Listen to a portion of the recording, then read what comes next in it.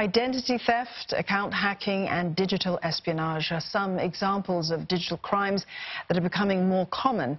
And experts say that these new types of crimes call for digital forensics, a new way of tackling the changing security landscape.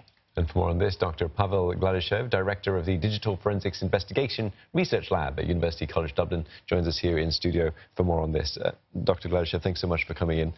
Uh, tell us, tell us then, us, help us understand uh, digital forensics and how is it being used today?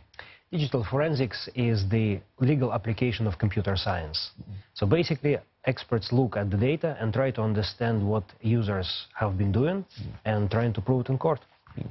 That's a, thank you for summarizing that so, so succinctly. Uh, what kind of role then does it play in police investigations? Presumably it has quite a, a, a it could have a potentially large role. Oh, absolutely. It's absolutely ubiquitous. Uh, in this day and age, pretty much any crime investigation involves uh, investigation of computing devices. Uh, we live in our digital devices in pretty much the same way as we live in our uh, dwellings, in our apartments and houses. And in the very same way, uh, digital devices can be investigated. Mm. On my computer, there is an area where I work, there is a area where I play, and uh, when I enjoy recreational activities. And uh, because of that, computers can be investigated in much the same way as crime scenes. Mm. So we're all leaving these footprints, you know, everywhere, uh, dig digitally at least. Uh, but what are the challenges that digital forensic examiners face in investigations? Well, digital forensics is fascinating on more than one level. For a computer scientist like myself, it poses a lot of hard problems uh, because we are looking at analysis of algorithms. And uh, it's a well-known mathematical problem that analysis of algorithms is, is hard. Uh, traditional forensics involves uh, examination and understanding of how physical things work. And the way physical things work doesn't change. In computer, however, once you install new version of software, the laws of nature, of digital nature, change completely. And we need new methods. The old methods no longer work. But most importantly, I think uh, challenges lie nowadays outside of the computer per se. And there is a couple, at least. One is the obsession of the modern society with privacy. Mm. Uh, on one hand, there is a lot of data being recorded, and uh, our devices uh, try to protect our data. And it makes investigations much harder. And I know for at least one agency uh, that uh, cannot investigate now cases that they used to be able to investigate five years ago. Mm. That sort of, I suppose, raises the question of, of, ethics and, and, you know, the right to investigate people's uh, devices when it could help it in a case. Uh, how do you, where do you draw? Do you have a, an opinion on that? Do you think anything should be fair game when you're investigating a criminal activity? No, of course there is a matter of proportionality. Mm. But I think it's a, it's a discussion the society needs to have. Mm. Look at the modern day kids.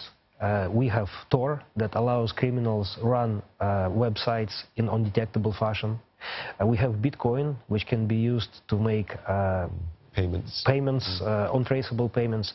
And then there is mail, which can be used to sell drugs. So all that the modern day kids need to do to buy drugs is to download a piece of software, uh, convert some uh, credit card money into bitcoins, and then wait for the mail to arrive.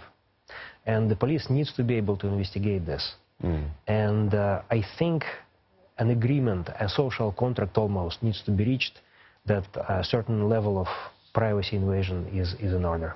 Mm. So let's uh, get your take on this topic of geolocation as well, because um, it's one of the topics that was discussed at the Interpol conference this time around. Uh, there's some controversy surrounding that, of course, because it sort of touches upon this issue of, of privacy and without, you know, infringing privacy at least. So how can security agencies actually use it without touching upon that? How can they use it effectively? Um, so to begin with, we have a lot of devices recording all sorts of data about us, including our location.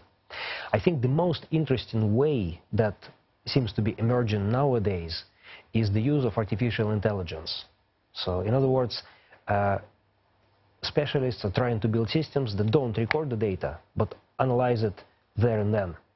And the data never leaves this artificial mind until and unless there is a sign that this needs to be further investigated. I think this has some potential. Mm. Dr. Uh, Gladyshev, thank you very much for coming into the studios uh, during this uh, busy time of yours uh, to shed light on this topic of digital forensics. We've been speaking there to Dr. Pavel Gladyshev. He's director of the Digital Forensics Investigation Research Lab at the University College Dublin.